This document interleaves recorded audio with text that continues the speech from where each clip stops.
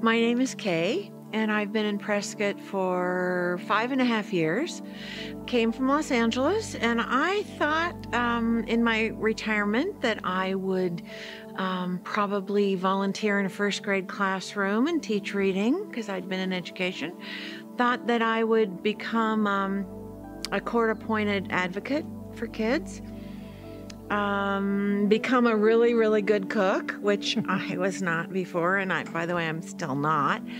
Um, but then I met Scotty, and I met Scotty because our sons had been in uh, college together, we're roommates, so they said you got to meet because we were both here. Scotty was involved with People Who Care, and um, I got involved with People Who Care, and now I'm up here with People Who Care in a good way.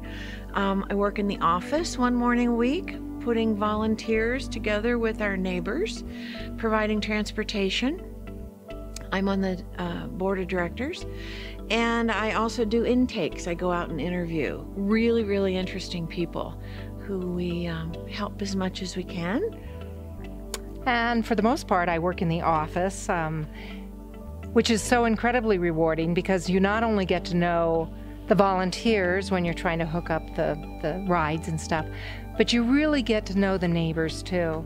And many of these neighbors don't get a lot of visitors, don't have a lot of phone calls, so we're a real kind of lifeline for them.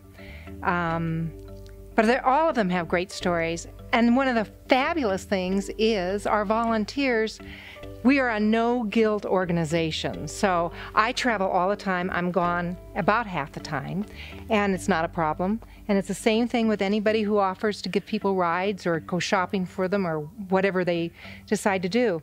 They do it while they're here. Sometimes they make really strong relationships with people, and we end up having what we call regulars, and they take the same person all the time. And that's probably a huge part of our, our organization.